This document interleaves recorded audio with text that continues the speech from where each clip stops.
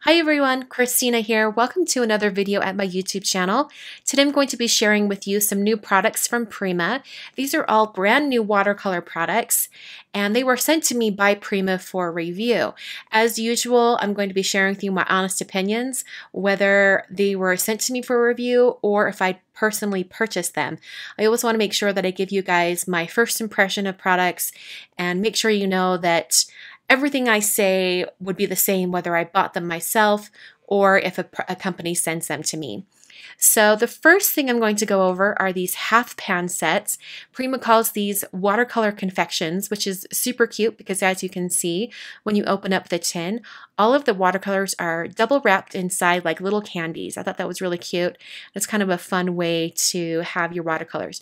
A lot of other companies package their pan sets like this as well. I know, for example, Schmincke, I have a set of Schmincke watercolors and they were packaged exactly the same. In fact, the tin that the these watercolor confections come in is very similar to the Schmincke palette that I have, which is a really nice palette. So I was familiar with that. Um, as you take each pan out, a way that you can do that a little bit more easily is to bend the little tabs up at the very top. Um, you can bend them back and then take out the pan and then go through and bend it back into place after you've put the pan in and that allows you to get them in and out really easily. Each color has a number on the back. I had really hoped that there would be names just so it would be a little bit easier to differentiate between colors between the palettes but the numbers work just as efficiently. And if you wanted to, you could take a Sharpie marker or any other permanent marker and put the number on the back of each color. I ended up not doing that. I considered it, but I didn't do that because later I made sort of like a swatch map, and I'll walk you through that when we get there. Another reason why you would want to keep track of the numbers of these pans is because there are rumors, I don't have no idea if this is true or not, but um, I've heard from multiple sources that Prima will be releasing these pan watercolors in, as individual pans. So if you wanted to replace a color that you've used, or maybe one fell out and broke or something like that, for whatever reason, you could replace individual colors within the sets, which I think is a really great idea because other watercolor companies offer that as well. And on the same hand, you could create sort of your own like customized personal set of your favorite colors that you use all the time. The watercolors do shift around a little bit inside the tin. If you have your colors in the exact order where you want them, you could put a little bit of glue underneath each pan and set that in place so they won't move around at all. I'm keeping mine loose just in case I want to replace them later or things like that.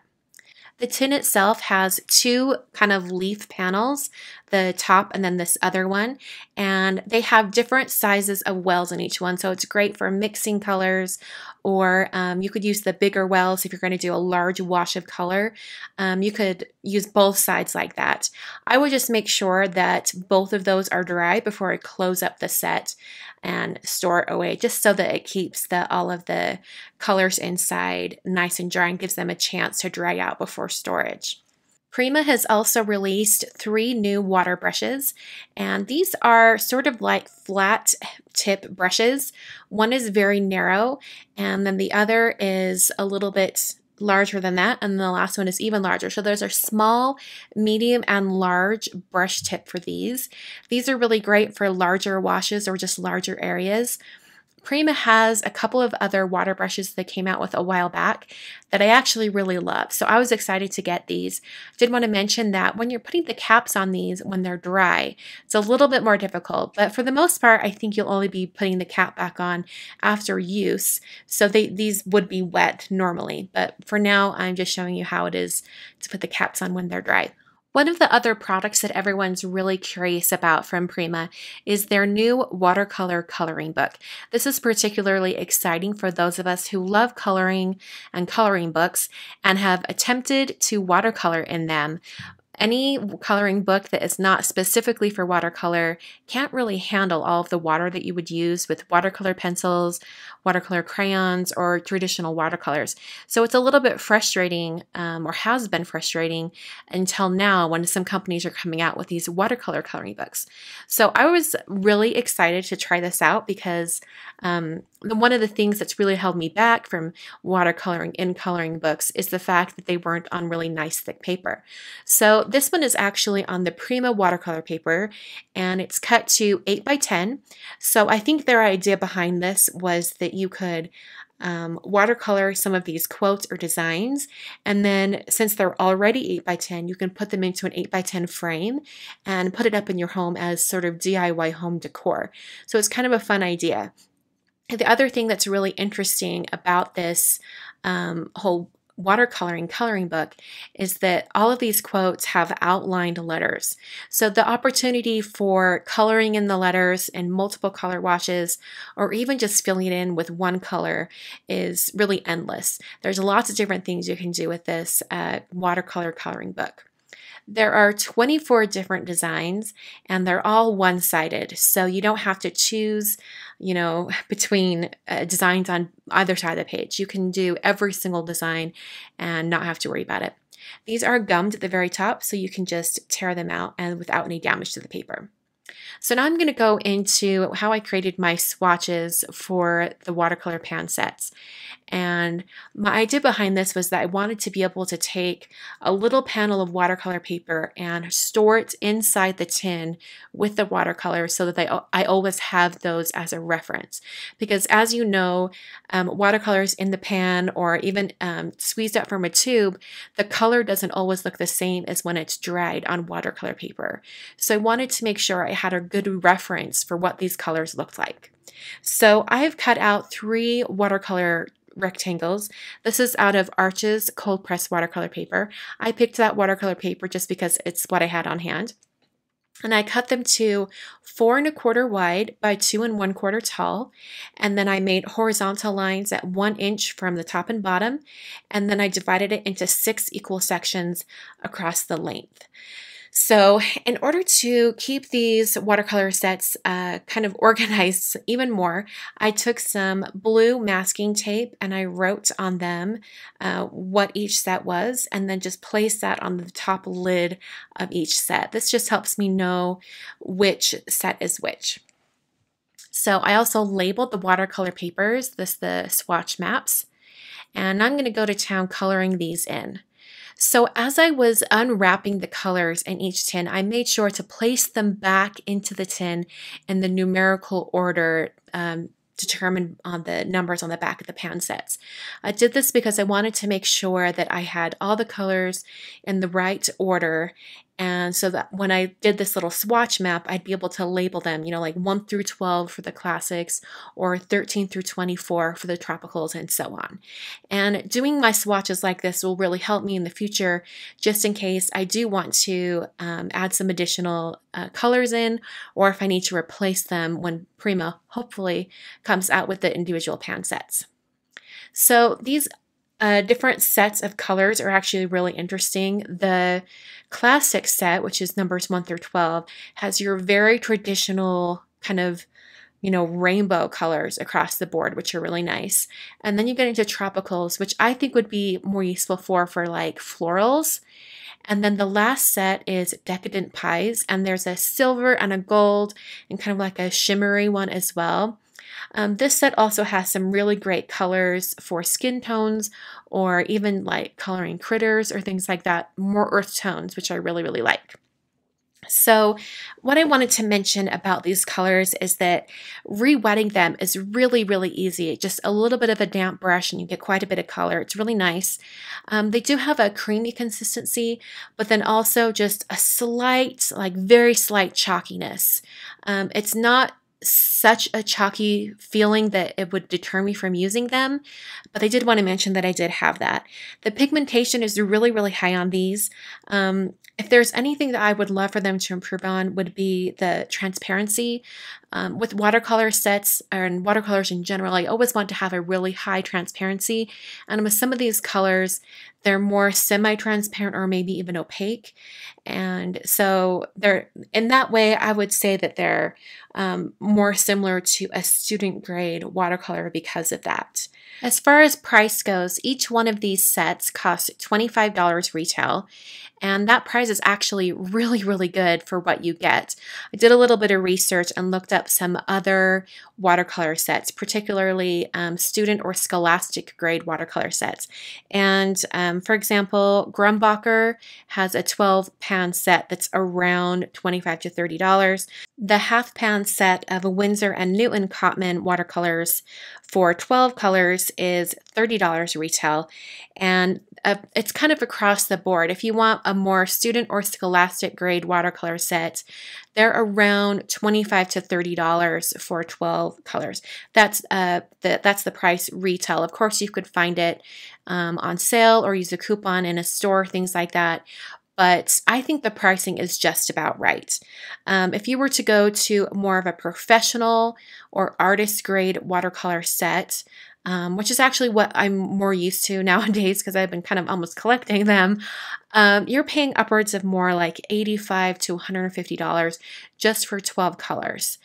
So if you are just starting out with watercoloring or you're looking for a really good beginner set of watercolors, the price point on these is actually fairly good. Um, I, I'd probably recommend this set if you were looking for um, these particular colors. Um, a lot of the sets that I recommend to uh, my viewers quite a bit are all around that same price point. Some uh, you can get a few more colors or a few less, but they're all about the same. So it really just depends on what you want. The thing that I really love about this set, maybe over other sets, is that the tin that it comes in is particularly nice with those different wells. And I like how small and compact it is. I think that's a great um, positive or pro for these particular watercolor sets. I wanted to try out the watercolors doing some brush lettering. So you just saw before I was uh, testing out all the different colors and writing out the color names. And now I am brush lettering a quote from Matisse. Just wanted to see how these colors would kind of blend on a water brush, um, get a little better feel for them. Um, as you notice that the, the colors don't really blend too much, but I think that's because I wasn't using a whole lot of water. Um, the water to pigment ratio on this was um, a whole lot more pigment than water, so that's why these are a little bit more thick. So now I'm going to go into the coloring book and show you some of the coloring in it and give you my opinion on the coloring book. So I'm going to go through some pros and cons, and I had to write these down because I wanted to make sure that I covered everything. So um, pros. The biggest pro for me is that it's actually on watercolor paper. Um, it can handle a lot more water than other coloring books. I think that has a really um, that's a really good pro for the coloring book itself. Um, I also like that it's 8 by 10 size. It's nice and big, but it's not overly large like some of the artist watercoloring books that I've used in the past. Um, those books weren't watercolor specific, but um, the format was much larger than 8 by 10 and it was a little bit cumbersome to use, especially if I was going to be traveling with it or kind of just coloring on the go. So the 8 by 10 size is something that I really, really like. Um, the designs inside are nice. There's a good variety of kind of florals and type and just nice quotes uh, to work with, things like that. Um, I did want to mention when it comes to the typography on this that um, I found a lot of the letters to be very small. And when I painted them. I, I painted, you know, three or four of these sheets, not finished, but just to test them out. And I, it was really hard to get a nice, crisp, clean edge on all of those words. It was, they're particularly small and kind of hard to paint. So, um, I think what I'm going to do in the in the future, and I would recommend this to you guys if you find that to be the case for you as well, is I'm going to just take a black, really thin lined marker and fill in those words. So it kind of makes that black outline disappear. It looks like it's printed, or maybe I've done the brush lettering in black on top. Think that's a really great way to work with um, the different typography that's on these quotes. So um, I'll probably be doing that in the future. And particularly, I'll be using a black waterproof marker or pen to do that so that I can do watercolor washes over the top. As far as cons of the coloring book go, um, it's funny to say this again because it was on my pro, but the paper in the coloring book, um, it's on my pro and con list because um, it's actually not my favorite. I, I'm not a big fan of the Prima watercolor paper. I think that really stems from the fact that I've used other types of watercolor paper more than Prima. So I'm very used to how my watercolor pigments behave on those particular types of watercolor paper. Uh, so it's really just kind of like one of those your mileage may vary type situations where if you're used to using other high quality papers, um, you might be a little bit frustrated with the watercolor paper in the Prima coloring book, but it's that's really like a um, I don't think that should really deter you away from getting the coloring book because the designs are really nice. I particularly love this floral one right here. And of all the pages that I watercolored, this is the one that I'm going to finish and probably put up in my craft room or something like that because I really like how it's um, starting to take form. So the paper was a little bit of a, a pro and con for me. Um, I also wanted to mention that some of the designs can be really small. Um, that's one of my major complaints with other coloring books is that the designs uh, don't have enough open space for you to really kind of get some blended color. So um, this design in particular had some more medium type size things, which was great for getting those colors on the flowers and on the leaves. But some of the other designs have really, really small elements, which could be difficult to do with a watercolor set. Um, I also wanted to mention when it comes to the paper, one of the reasons why I didn't like the paper was because the drying time is really, really fast. So I didn't feel like it was forgiving. Um, I wasn't able to put down a wash of color and drop in more colors. Um, I was really limited in that case. So that is my review of all of the Prima products that they sent me. Um, all in all, I would recommend the watercolor set. Um, if I was to give you a recommendation on which set to buy first, I might say get the classics because you can mix a lot of those colors to be similar to the colors in the other sets. Um, but if you like florals, maybe you like the tropicals more. Or if you really like to paint people or kind of um, animals, you might go for that uh, decadent pie set. It's really up to you. The coloring book, even though I don't like the paper, I'd still recommend it just because the designs are fun and it's kind of hard to find a watercolor specific coloring book out there right now. So this is a fun way to kind of test things out. I did um, try out a couple of different watercolors. Um, in the coloring book. Specifically, I tried my Winsor & Newton watercolors. I tried uh, Zig Clean Color Real Brush markers. I tried some Tombows all of them had about the same experience with the watercolor paper in that it was uh, drying very quickly and it was a little bit hard to blend color. So I think it's across the board, it's like that. It's just the type of paper. Um, but like I said before, I, please don't let that deter you from buying it because I think the designs are really great. So thanks for watching. I will catch you guys in the next video. Until then, happy crafting and thanks for watching.